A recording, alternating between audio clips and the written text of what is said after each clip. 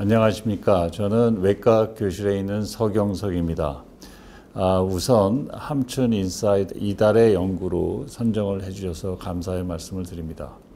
본 논문은 아, Pure Laparoscopic Donor Right Hepatectomy, 즉 순수 복강경 아, 공여자 아, 우간 절제술에 있어서 수혜자의 그 outcome을 극대화하기 위한 생체 공여자의 조건을 찾는 데 그 목적이 있었습니다. 어, 우선 배경을 말씀드리겠습니다. 어, 처음에 저희들이 생체 공여자 간 이식을 할 때 공여자에서 이와 같이 큰 절개창을 사용을 했습니다.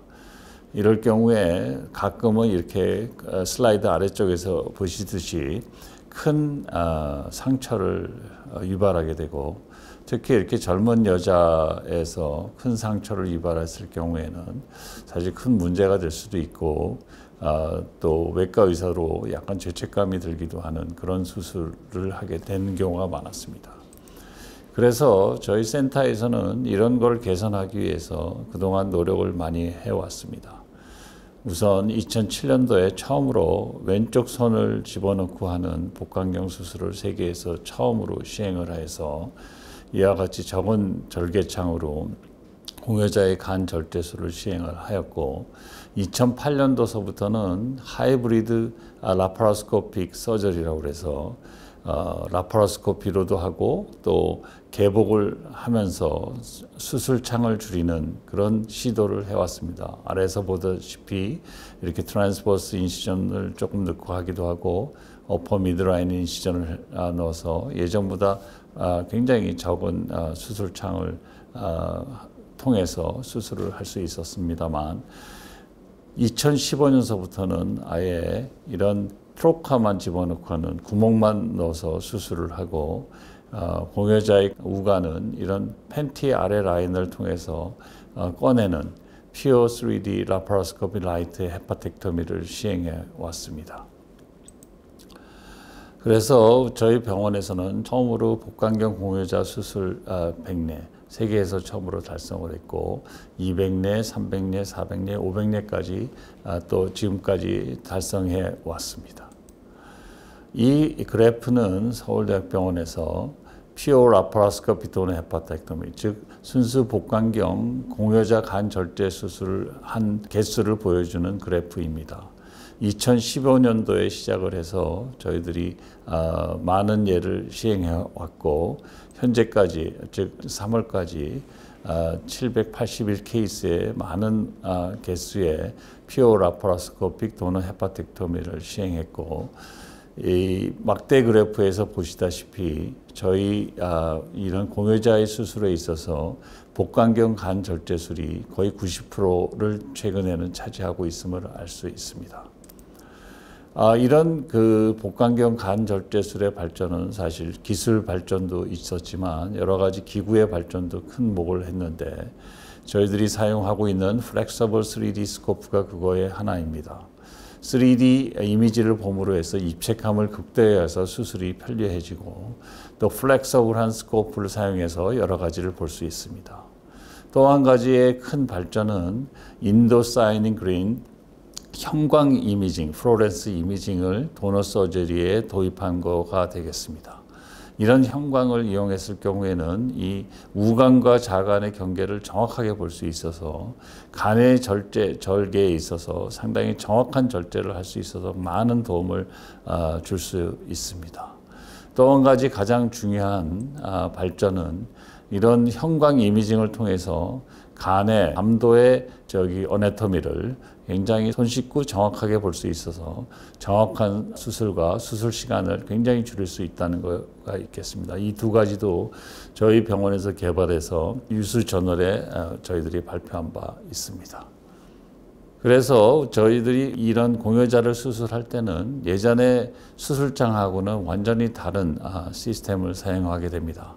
이제 환자는 안 보이지만 이 환자의 상처를 보고 수술하는 게 아니라 이렇게 다섯 가지의 모니터를 계속 보면서 수술합니다.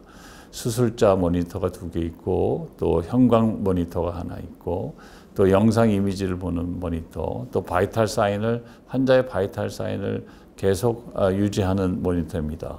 아, 동영상을 보시면 이렇게 아, 다섯 가지, 여섯 가지 모니터를 계속 보면서 저희들이 최근에 수술을 하고 있습니다. 그래서 이런 수술의 처음 결과는 어, 2017년도에 American Journal of Transplantation에 보고하였고 그 당시 이런 conventional 우리가 보통 개복하는 간 절제술과 순수 복강경 간 절제술 41례, 45례를 비교했을 때 두 군 간의 차이가 합병증의 차이가 없고 굉장히 우수하다는 결과를 보여주었습니다. 그 이후로 어, 지금까지 어, 여기에 보시다시피 30개 넘는 어, 그런 어, 우리 연구를 어, 이런 유수 저널에 어, 보고했고 어, 따라서 여러 가지 그 해부학적인 어려움과 또 공여자의 안전성과 이런 것들을 증명하는 그런 수술 그런 어, 보고들을 연구를 계속해 왔습니다.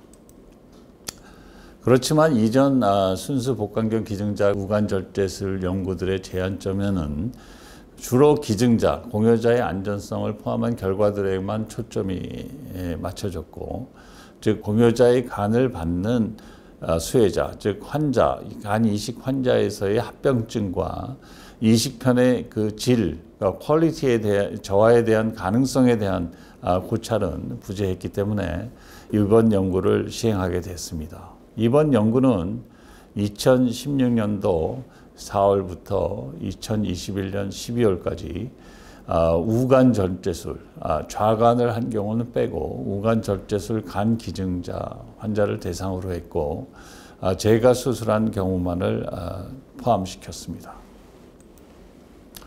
아, 다음은 연구 결과입니다. 이거는 공여자에 있어서 아, demographic preoperative value of 오퍼라티브 아웃컴을 얘기해 주는 건데 아, 섹스에 있어서는 차이가 없었지만 아, 개복술에 있어서 나이가 더 많았고 또 예, 공, 가족과의 관계에 있어서 공여자와 수혜자의 관계에 있어서 개복술을 시행한 경우에 있어서 좀 더 부부간의 간이식이 더 많았습니다.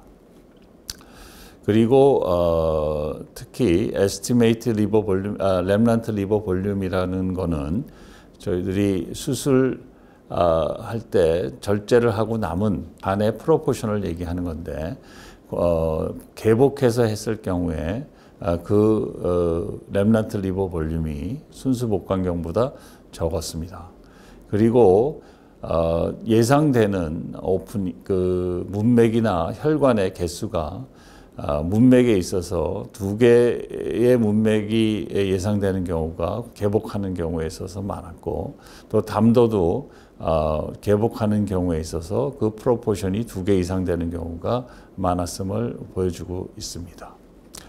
어, 전체적으로 볼 때 이 공여자 그 사이에 그 기간 동안에 어, 개복을 한 경우에는 63 아, 증례, 또 복, 순수 복강경을 한 예는 362회로 어, 아시다시피 최근에는 아, 순수 복강경 하는 경우가 상당히 많았음을 보여줍니다. 이거는 아, 공여자가 아니고 그 공여자의 간을 받은 아, 수혜자, 즉 간이식 환자에 있어서의 아, outcome을 보여줍니다. 개복을 해서 공을, 간을 받은 수혜자가 63례, 아, 또 순수 복강경으로 절제를 해서 아, 간을 제공받은 환자가 362례였는데 그 두 군 간의 섹스나 에이지, BMI 또는 etiology 또 간 암의 존재 여부, MELD score 또는 처지식이냐 아니냐의 여부는 차이가 전부 없었는데 이런 술식에 있어서 공여자의 그 아, 문맥 문압에 있어서 이 개복 수술을 통해서 수술한 공여자의 간을 받은 아, 이식 환자에 있어서 간 동맥을 두 개 하는 경우가 아, 그렇지 복강경에서 받은 것보다 훨씬 많았고요. 통계적으로 유의하게 많았고 문맥 문압도 이런 어, 개복수를 통해서 받은 공여자의 간을 이식하는 경우에 있어서 아, 아, 두개 이상인 경우가 27%로 6.6%에 비해서 개복술에 있어서 많았습니다. 그리고 담도 문압도 두 개 이상을 문압한 경우가 개복술을 통해서 아, 기증받은 아, 수혜자의 수술에 있어서 34%로 순수 복강경으로 했을 때의 17%보다 많았음을 알 수 있습니다. 그 그렇지만 어, 두 군의 어, 개복수를 통해서 받은 수혜자의 성적이나 또 이 순수 복강경을 해서 우간절제술을 해서 받은 아, 환자의 생존율은 두군 간에 전혀 차이가 없었고 또한 그래프트 서바이벌도 두군 간에 차이가 전혀 없었음을 보여주었습니다. 그렇지만 이런 특별한 조건을 우리가 만들었을 때, 즉 공여자의 나이가 40세 이상이거나 또는 남을 간의 영적이 35%보다 적던지 또는 아, 문맥이나 또는 담도의 문합 개수가 아, 많을 거로 예측되는 이런 공여자에 있어서는 아, 공여자에 있을 경우에만 추렸을 때 개복수는 43례 또는 피오 라파로스코픽으로 한 개는 146례가 되겠는데 보시면 수혜자의 early major complication이 복강경으로 받은 어, 간을 이식하였을 경우에 어, early complication이 초기 합병증이 많았음을 보여주고 있습니다. 그래서 이본 어, 연구를 요약해 보면은 아, 최근에 굉장히 순수 복강경 간 절제술이 유행을 하고 있고 저희 센터에서는 대부분을 하고 있지만 즉 아, 공여자의 나이가 40 이상인 경우 또 렘란트 리버 볼륨 자녀 간 용적이 35%보다 적을 거로 예상이 되는 경우 또는 문맥이나 담도의 개수가 여러 개가 아, 예상되는 경우에 있어서는 아, 아직까지는 순수 복강경보다는 우리 개복 수술을 했을 때 초기 간 이식 환자의 어, 그 성적을 올릴 수 있다고 어, 한다는 결과를 보여주었습니다. 그래서 앞으로 이런 그 순수 복강경 간 절제술을 할 때에도 이런 조건들을 잘 생각해서 이런 조건들에 있을 경우에 있어서는 좀 더 주의를 기해서 어, 수술을 해야 되고 합병증과 기증자의 그 우수성을 어, 가족끼리 상의해서 수술 방향을 결정해야 되겠다는 게 중요하겠다라는 게 이 논문의 결론이 되겠습니다. 마지막으로 아, 우리 병원에서는 센터에서는 최소 침습에 대한 아, 수술을 계속 발전시키고 있습니다. 이제까지 말씀드렸던 것은 공여자의 술식이라고 생각이 되면은 저희들이 세계 최초로 아, 복강경으로 수혜자, 즉 간 이식 환자를 저희들이 수술해서 성공한 그림을 보여줬고 이거는 American Journal Transplantation 2022년도에 실렸고 그 이후에 또 수혜자를 복강 아, 로봇을 사용해서 하는 수술을 성공해서 그 또한 아, 발표한 바가 있습니다. 그래서 최근에 아, 간 이식에 있어서도 최소 침수술이 발전하고 있고 이런 면에 있어서 저희 병원, 저희 센터가 세계를 선도하고 있, 있음을 알려드립니다. 감사합니다.